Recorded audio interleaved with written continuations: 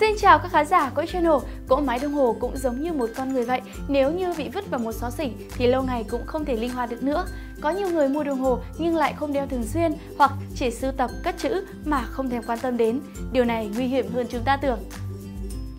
Đối với đồng hồ cơ, dù là đồng hồ lên dây cót hay đồng hồ tự động, nếu bị bỏ quên lâu ngày, không được vặt cót, nạp năng lượng thì lớp dầu bôi trơn trong bộ máy sẽ bị ứ động ở vị trí này mà không có ở vị trí kia, bị đông tụ khiến bộ máy dễ bị mài mòn khi hoạt động trở lại.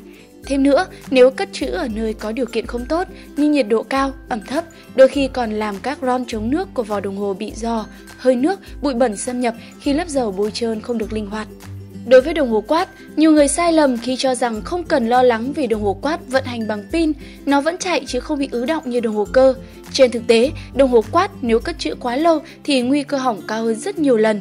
Nguyên nhân là vì bạn sẽ không biết được lúc nào hết pin để thay pin mới, pin chết để trong đồng hồ lâu ngày sẽ bị do dịch, gây ăn mòn, hủy hoại mạch điện tử. Còn nếu bạn tháo hẳn pin ra thì bản thân mạch điện tử cũng sẽ gặp trục trặc như bao thiết bị điện tử bò xó khác. Đến con người lâu không vận động còn gặp trục trặc về sức khỏe nữa là một cỗ máy đồng hồ với những chi tiết chuyển động nhịp nhàng, ăn khớp, mạch điện tử phức tạp, tinh vi. Vậy thì hãy nhớ kỹ những điều sau đây để chiếc đồng hồ của bạn mãi mãi bền bỉ với thời gian. Đồng hồ để lâu không đeo có sao không còn tùy thuộc vào bạn. Bạn có thể không dùng đến đồng hồ đeo tay bao lâu cũng được, nhưng phải thường ngó ngàng đến chúng và giữ cho chúng luôn hoạt động trong môi trường ổn định. Với đồng hồ cơ, tối thiểu mỗi ngày đều phải lên dây cót hoặc xoay lắc nhẹ để cho đồng hồ luôn hoạt động.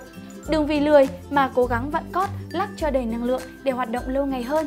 Việc cót luôn căng dễ khiến nó chóng hỏng. Với đồng hồ quát, khoảng 4 đến 6 tháng kiểm tra một lần vì rất nhiều loại đồng hồ quát có tuổi thọ càng cao thì dùng pin càng hao. Một vấn đề khác là bảo trì, bất kể là đồng hồ cơ, đồng hồ quát thì đều cần đến sự chăm sóc sau thời gian dài tồn tại. Khoảng 3 đến 4 năm bạn hãy đem đồng hồ để lâu không đeo đến các trung tâm bảo hành, dịch vụ uy tín và chuyên nghiệp để kiểm tra khả năng chống nước, sự mài mòn các bộ phận, lau dầu, chống ẩm, làm sạch dây. Môi trường bảo quản đồng hồ để lâu không đeo là gì? Nhiệt độ tốt nhất cho tất cả các loại đồng hồ từ 5 đến 35 độ C.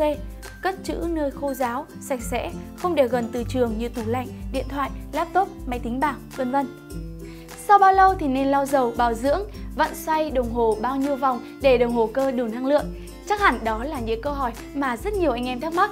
Tất cả sẽ có trong những số tiếp theo của X-Channel tư vấn bảo quản đồng hồ. Đừng quên subscribe channel nhé. Còn bây giờ thì xin chào và hẹn gặp lại.